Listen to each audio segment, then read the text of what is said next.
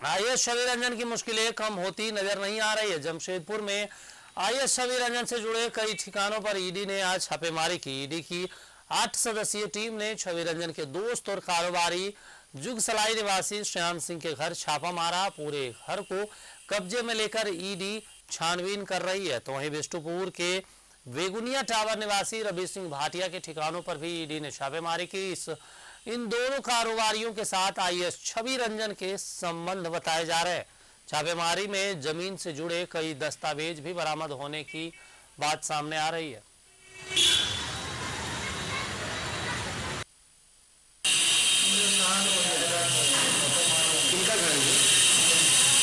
कहाँ से आता है साहब से आए साहब कहाँ से आए साहब अंदर है वो निकलेंगे वही बता नहीं आप कहाँ से बोल साहब को छोड़ दीजिए आप कहाँ से